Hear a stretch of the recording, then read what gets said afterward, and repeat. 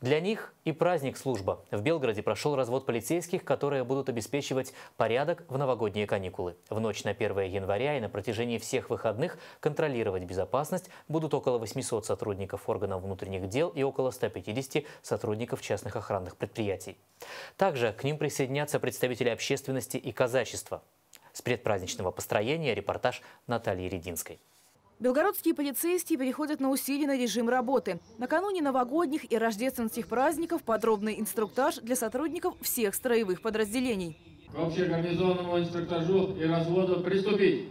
Всего за период январских каникул в регионе пройдет около 450 торжеств, посвященных празднованию Нового года и Рождества. Все места массового пребывания людей и прилегающие к ним территории будут обследованы полицейскими с использованием технических средств и служебных собак. Дополнительные меры примут по повышению антитеррористической безопасности. На участках массовых гуляний будут постоянно дежурить наряды полиции. Полицейский должен обеспечить отдых таким образом, чтобы ни в какой дом, ни в какую семью не пришла беда, ну и чтобы люди соблюдали э, нормы поведения во всех общественных местах, особенно э, в новогодние дни у елочек. Также по итогам года наградили лучших сотрудников полиции за высокий профессионализм и добросовестное несение службы.